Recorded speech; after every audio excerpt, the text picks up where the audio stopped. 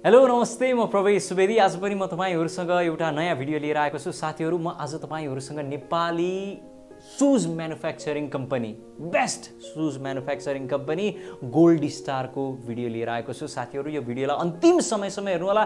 किनकि म आज तपाईँहरूसँग गोल्ड स्टारको सक्सेस स्टोरी गोल्ड स्टारको इतिहास र गोल्ड स्टार कसरी अघि बढिरहेको छ भन्ने कुरा म तपाईँलाई सम्पूर्ण कुराहरू डिटेलमा भन्नेछु। साथीहरू गोल्ड स्टार नाइन्टिन सेभेन्टीमा नूर प्रताप जेबी राणाले सुरु गर्नुभएको थियो। र पहिला गोल्ड स्टारले जुत्ता बनाउँदैन थियो। पहिला उसले चप्पल बनाउने गर्दथ्यो। र चप्पलमा पनि तपाईँको हात्ती छाप चप्पल तपाईँले सुन्नुभएको छ होला। हात्ती बलियो कि? हात्ती छाप चप्पल बलियो भन्ने त तपाईँले सुन्नुभयो होला।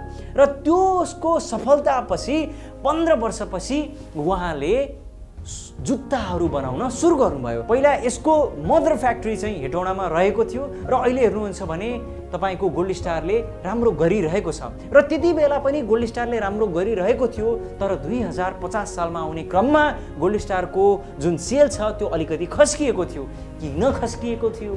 किनभने त्यति बेला गृहयुद्ध भएको थियो। जसले गर्दा माओवादीहरूले विशेष गरेर माओवादीहरूले गोल्ड स्टार लाउने गर्दथे। जसले गर्दा ती सेनाहरूले जो कोहीले पनि गोल्ड स्टार लगाएको देख्ने बित्तिकै ए यो त माओवादी रहेछ यसलाई दण्ड दिनुपर्छ भनेर दण्ड दिने गर्दथे। जसले गर्दा जनमानिसहरूले गोल्ड स्टारलाई प्रयोग गर्न डराउँथे र जसले गर्दा गोल्ड स्टारको सेल्स घटेको थियो। र अहिले हेर्नुहुन्छ भने दुई हजार पन्ध्र सालमा पन्ध्रमा एक करोडभन्दा बेसी सुज उसले बेचेको छ।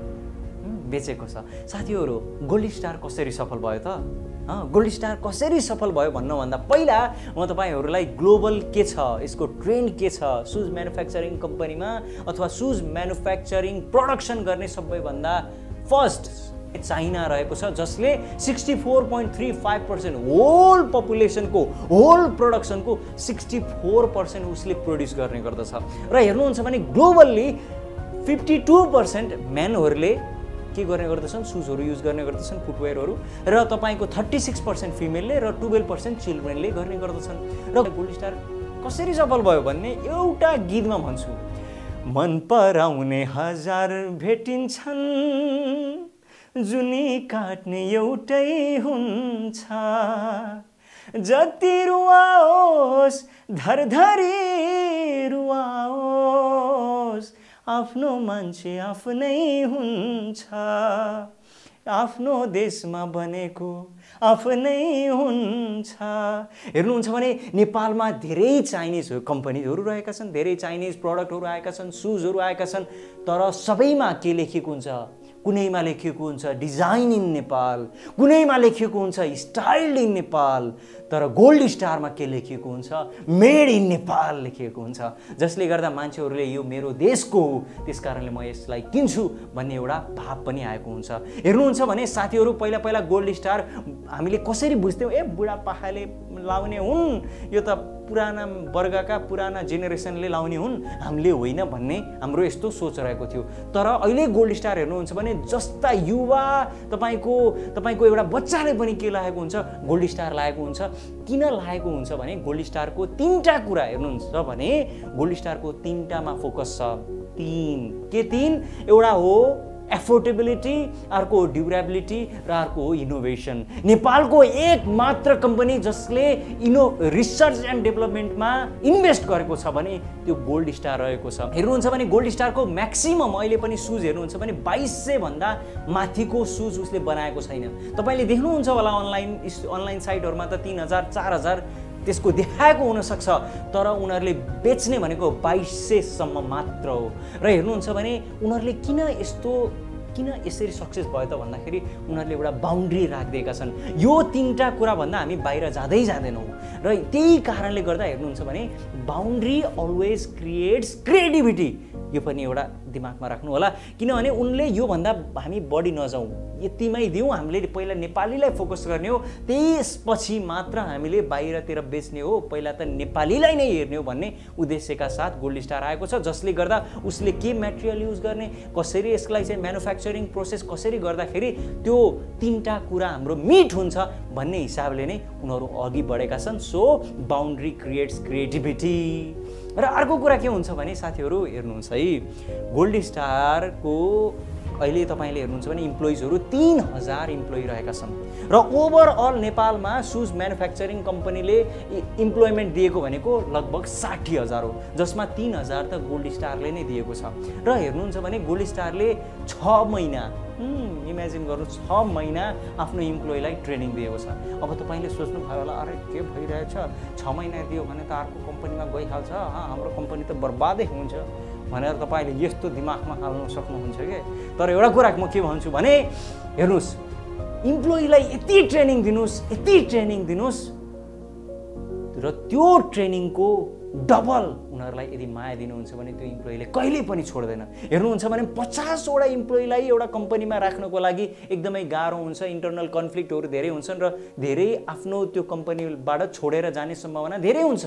तर तिन हजारलाई मेन्टेन गरेर राखेको छ एउटा सिङ्गल ढिक्कामा एउटा सिङ्गल लक्ष्यमा कि नेपालमा सुज छ त गोल्ड स्टारको मात्र मानिसहरूले युज गर्नुपर्छ भन्ने उद्देश्यका साथ सबैलाई युनाइट गरेर गोल्ड स्टार अघि बढेको छ। Fast serve fast growth. के भन्छु म? फास्ट सर्भ फास्ट ग्रोथ रहेको छ। कस्तो हो भने यो भने कि यदि तपाईँले हेर्नुहुन्छ भने नेपालमा कुनै पनि नयाँ डिजाइन यदि इन्डियाबाट होस् या चाइनाबाट होस् नयाँ डिजाइन मिनिमम दुई महिनापछि आउने गर्दछ। तर गोल्डी स्टारले एक महिनामा एक महिनामा लगभग दस बिसवटा नयाँ डिजाइन लिएर आउने गर्दछ। जसले गर्दा अनि अर्को कुरा के छ भने अनि एकदमै छिटो डिस्पर्स गरिदिन्छ एकदमै छिटो। जसले गर्दा मानिसहरूले त्यसलाई युज गर्न पाइहाल्छन् र त्यो पाउने बित्तिकै उनीहरूले फेरि त्यो हाम्रो गोल्ड स्टारले फेरि फिडब्याक पाउने गर्दछ र त्यस पछाडि फेरि उसले कुन कुन प्रडक्टलाई अब बनाउने र कुनलाई चाहिँ अब डिस्ट्रोय गर्ने कुनलाई चाहिँ अब म्यानुफ्याक्चरिङ गर्न रोक्ने भन्ने कुरामा उसले यसरी अघि बढेको छ। साथीहरू एउटा प्रब्लम के आएको छ भने नेपालमा किन हाम्रो Nepali domestic shoes manufacturing company राम्रो गर्न सकिरहेका छैनन् भन्ने कुरा पनि म तपाईँहरूलाई भन्छु।